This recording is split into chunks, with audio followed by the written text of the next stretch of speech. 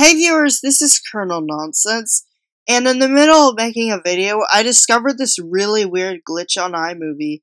It's not really a helpful glitch either, it's actually a really annoying glitch. So how you activate this glitch is, you see right now, how I can upload this in 4K right now? You see that? Well, if I delete every single clip in this current movie, and then I take another clip and put it in there, and then if I go to here, I can no longer export it in 4K. It's really annoying. Like, I discovered this glitch while trying to make a video, like this parody video. Like, it's a really annoying glitch. So, what I'm going to try to do is, I'm just going to try, like, when I'm done, like, exporting a video, I'm going to try putting a new clip and then deleting the old clips.